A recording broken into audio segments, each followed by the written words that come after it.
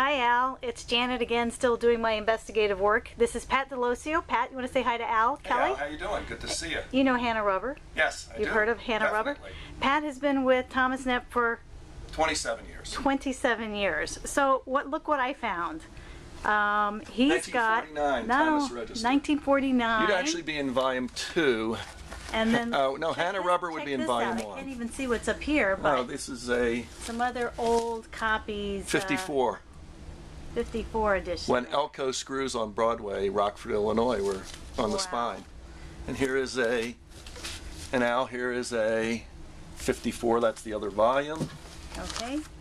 And um, I'm not going to reach Don't the reach other up. one. Don't reach up. But we'll here is uh, one of our first publications in 1911, Oh Thomas gosh. Wholesale and Grocery and Kindred Products Directory, awesome. as well as in this envelope, Janet and Al. What is that? Is in 1899, our, one of our first, incomplete, but our first publications ever. That? Broken down, nothing Okay. but pages are left. Ah, got it. All right. So let me just hit pause here and we're going to get out the book and start looking for Hannah Rubber, see if we can't find some history. How do I, how do I turn?